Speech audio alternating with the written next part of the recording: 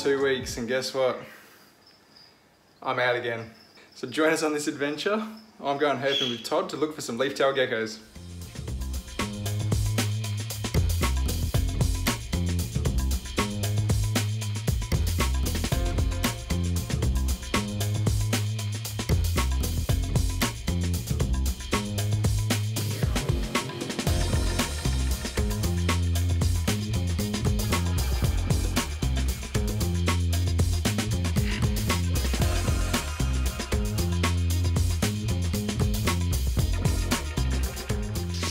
Only going for a couple of nights, but I'm taking a pretty obscene amount of stuff. I've got a lot of camera gear in there. I've got a new drone and my boots and everything in there, as well as a saw, just in case I end up finding some logs and stuff I like.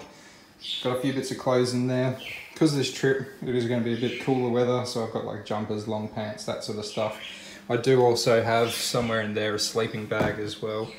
Got to have the trusty Cobra. And then I've just got this swag, my hook, and a nice little plant saucer in case we find anything that's a bit spicy. Unfortunately, Jason is absolutely doomed to hurt. He was supposed to be coming on this trip and this was actually his master plan as well between him and Todd. And I just got invited for the ride essentially, but unfortunately Jason's little daughter got really crook just before the last moment and she's ended up in hospital. So everyone, send him your best wishes and one day we will get Jason out there into the field with us and see some reptiles. But yeah, the poor bugger can't come on this one either. You found me. it should be hopefully going up now for you.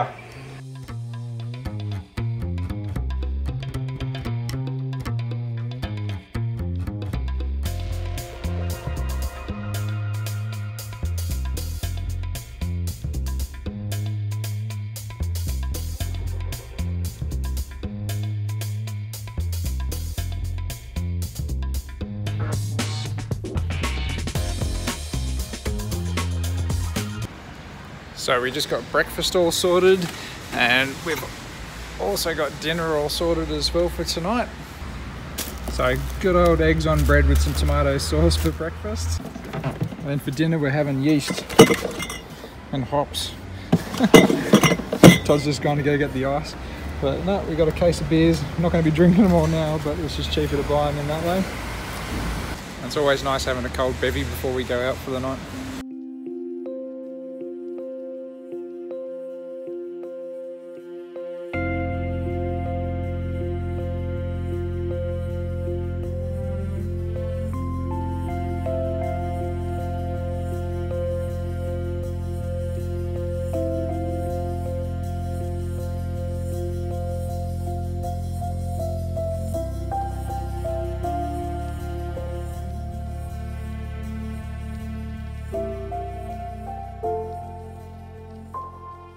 We just got up to the campsite at Dorrigo.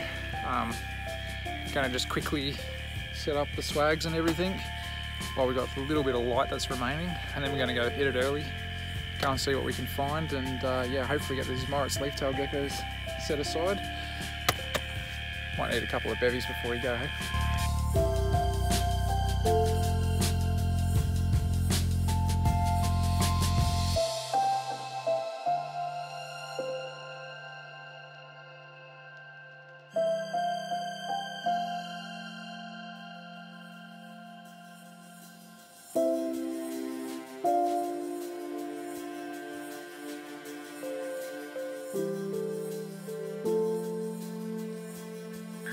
Cheers. Dinner.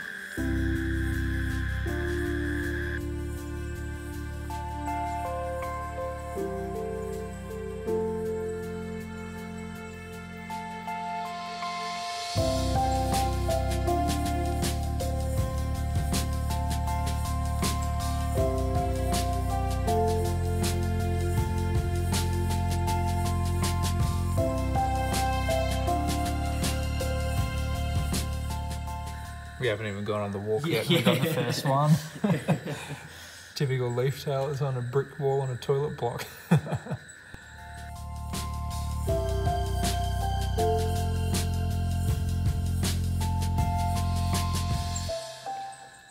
so we got the first one, and I got a couple of good photos of that one. And Todd spotted this other one here with a regenerated tail. Another nice looking individual, bar the regen obviously, but even still, we've only been looking for them for not even a couple of minutes, really. Been able to see a couple of them. Again, it's got the standard mite in the eye. Most leafies tend to have these particular mites. Cool little geckos nonetheless, definitely. I've got a little tree frog of some description here that we'll have to ID at some sort of later stage. Super high up here, it's about 50 metres down at the moment, so we're trying not to startle it too much because we don't want it to go all suicidal on us. What a cool little frog. Looks like a little juvenile. Yeah. I feel like I, I I definitely know the species, but I'm struggling to name kind it. like tick it off and you'd be like, oh yeah, that's the one. Yeah. And I feel like I'm stupid for not knowing what it is right now. Half the fun. At least you got the Cogger in the car, mate. Yeah, you got time to ID that one. Yeah, well, I did. Definitely before, uh, when first light comes or something like that. That's sick. I'm a sucker for epiphytes. Yeah, but there's like Did you this keep tree going? here has like fishbone type fern, Mm. and you've got there's uh, this one here that's running up on the left. And you've got like Asplenium, like the bird's nest, and then there's like another like kind of like rock orchid type looking thing. Yeah. It's insane, hey? It's so crazy here at the moment. Like, we've run into so much fog. And just by making the head, head torch really, really bright, you can actually see how intense the fog is. So, we're just taking our time, lowering the light, not swallowing bugs, and uh, yeah, trying to find these leafies on some of these thicker branches and thicker trunks. Yeah, it seems to be getting a bit denser here, hey? Everything's just so moist.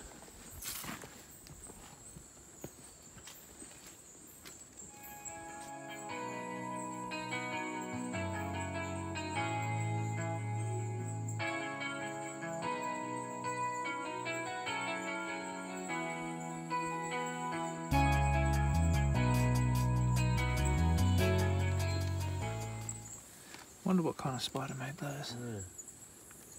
Does it look like anybody's home? I can't actually see any. Yeah,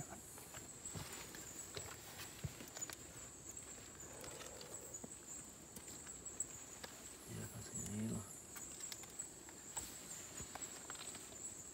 see it that right here? Mm. Cricket. Like, we could even just, you know, breed some of these. Yeah. You know, just like obviously the Moritz would be eating these. Yeah. At least it's a native. Yeah. Might have, might be higher in some sort of vitamin content or something that, you know, helps Moritz survive.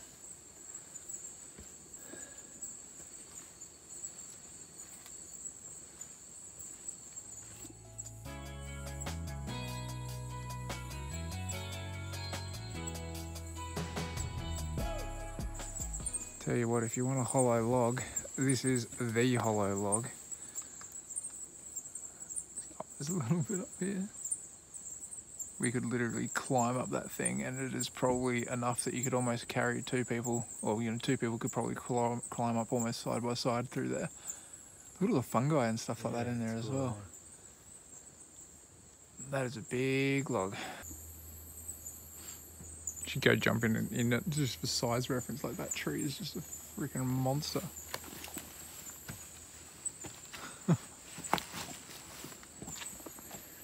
Put a little door on it. yeah, call it a day. Little hobbit home. See, here's a massive snail. Apparently, this is only a baby one of these panda snails.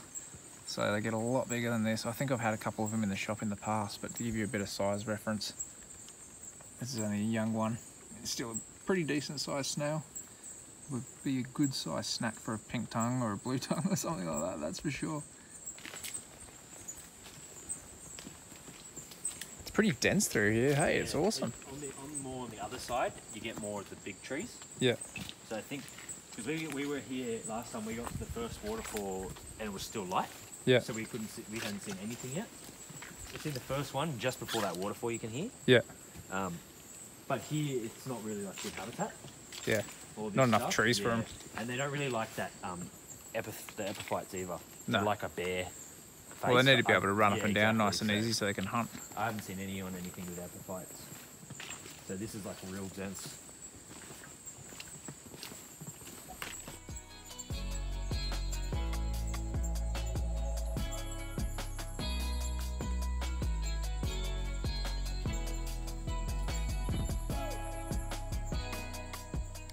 Todd and I were just saying how this lichen almost doesn't look real. It almost looks like somebody's just painted it on because of the crazy colours on it. It's pretty unreal. It's like almost a turquoisey, yakkery type, greeny blue. Pretty cool looking stuff. That's for sure. Stacks of cleanup crew here. Just get a handful of soil. Yeah. You'll be getting all sorts of different springtails and stuff from this. That's mad. See the size of a millipede. Cool looking critter. These isopods have got these sweet little orange frills to them as well. They're all over the rock. Stacks of stuff here. We've probably been walking for about an hour or so now, maybe even an hour and a half. And Todd's just spotted this leaf tail hanging off this thick branch here. Thick trunk, I should say, not a branch. Intact tail. It's a beautiful little moritz, hey? Definitely have to get some good in situ photos of this bad boy. What a stunning gecko. It's funny finally seeing these guys in, in the flesh after having kept them for a while. Now I don't keep them, but I'm going to give all this footage to Jason so he can appreciate them. So you can see he didn't make this trip, unfortunately. But yeah, freaking stunning gecko. Wonder if this one's got any mites. Can't see any yet. It looks like he's a bit dehydrated. Funnily enough. It's definitely the good thing about leaf tails is how cooperative Oh, they yeah. are. Like we've just Like, been pumping this guy with You've run out photos. Anything else? there we go. The best part is, didn't have to oh, touch him. No, exactly. you don't have to move. It looks like it's in shed. I'll try with Yeah, I think more. part of his tail is like Yeah. looks like it's a bit flaky.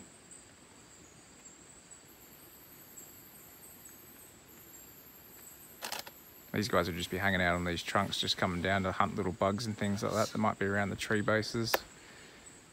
He's because you like he's quite high. Yeah. So He's like probably about what, 1.6 off the ground, I yeah, reckon. I'm just under two meters. He's kind of around my chest. Yeah. Cool little animal though. So as, I was, cool, eh? it's got, as I was saying though, like it does look a little bit weird. Like it does look like he's uh, potentially Yeah. a little bit dehydrated, and yet everything's moist.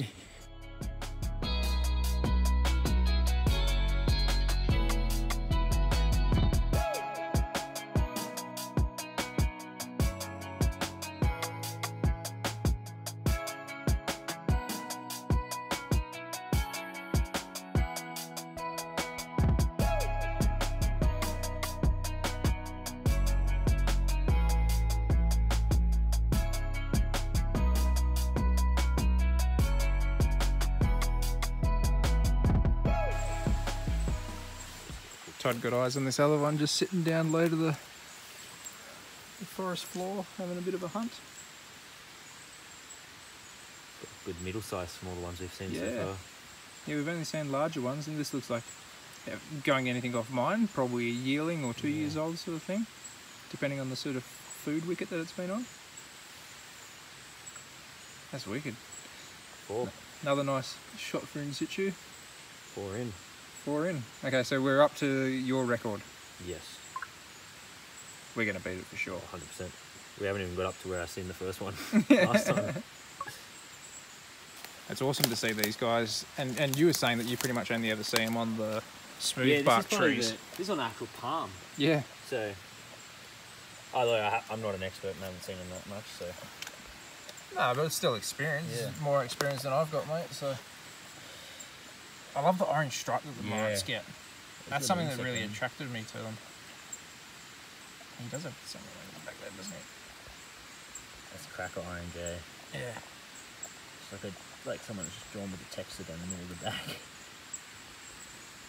It's got a nice leg spread. He's perfect proportion, this one. It is a nothing too out of ordinary. And we've only got one with a regen tail so Yeah, far, so we definitely can't complain about that. Right, new record, baby. There you go. I definitely don't have my leaf tail eyes in. I was just saying to Todd, I was like, yeah, you can imagine one like right down in here. And then this guy's sitting right here. So obvious. And Todd reckons this is the one he, he saw it last time that he was here too, on the exact same tree, just a bit further up. It's pretty cool to bloody see. This one's really weird, hey? It's got like a super dark head. Yeah, and then like a dark tail, which like a regen, Yeah. And then the body is like perfect. That's a big gecko too, Yeah, this one. chunky, I? How I reckon chunky. this is going to be a girl. Not that I'm going to touch it and flip it or anything, but I reckon that's a girl and I reckon it's potentially even got some eggs. Just judging off that chunky, eh? Compared to all the other ones we've seen. Yeah, that's a big gecko. Right, give you a bit of a, a size comparison here. Pretty decent sized animal. It's like thumb thickness. Yeah. That's pretty big.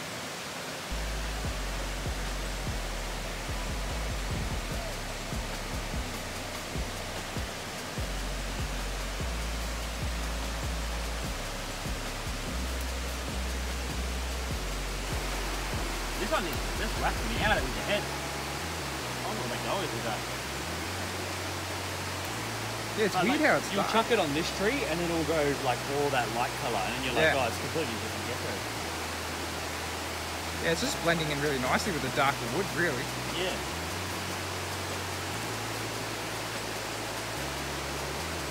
Could be wrong, but we've got some type of. I think it's a giant barred frog or something like that. I'm most likely butchering these frogs tonight, but what a stunning animal. This thing's probably about half my palm size. It's a decent sized frog. Definitely be smashing a few of these big bugs out here.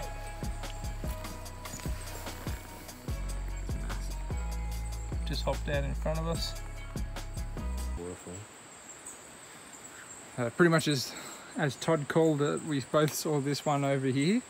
And while we're looking at this one, I quickly noticed this other little guy down over here too, little juvie. That one's actually, yeah, probably halfway grown or thereabouts, but got a nice original tail. And this one's, that one's so slender, it's so long, hey. But yeah, a nice big regen tail on that one, so it's still doing all right. But how cool is that? That's a two for one on this massive tree. They don't blend in quite as easily on this one. That one was so obvious. yeah. But yeah, no, that's awesome. Yeah, the, this tree's so big that it probably actually has a few more on it. We just can't see them because it's No. a decent sized log. Head up into there in the day. Yeah. Mad shelter. Look at all those plants just growing out of it as well. Just goes on like forever. carpet. Cannot even see the top of that. How insane. Actually, this one. That's mad. Just spotted number eight on the back of a tree trunk. And look how wet this one is. It's absolutely glistening with water. Another beautiful little one.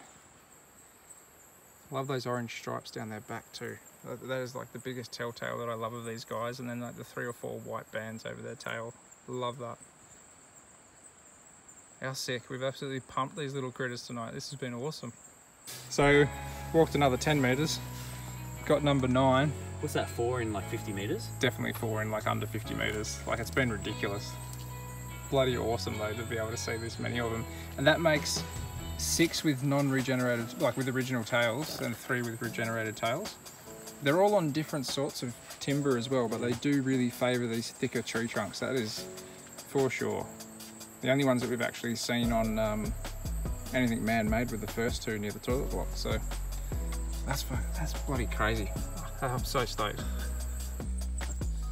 To give you an idea, this shell on this snail is larger than a golf ball. So it's a pretty decent sized panda snail, but they still get way bigger than this too. Well, there we go, we cracked it. Number 10, perfectly in ambush too. How sick is that? Another one with a regen tail. But bloody cool to see this little lizard. Definitely got to be stoked on this night, hey? Yeah. 10. 10's not half bad. Oh, stoked to see one on the toilet block.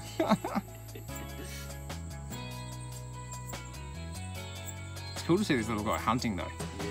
Like actually, like he's ducked his head down a little bit now, but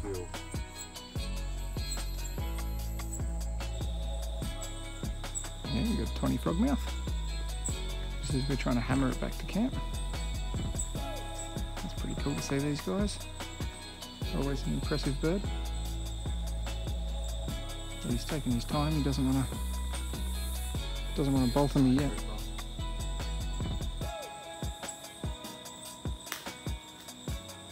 That's so cool.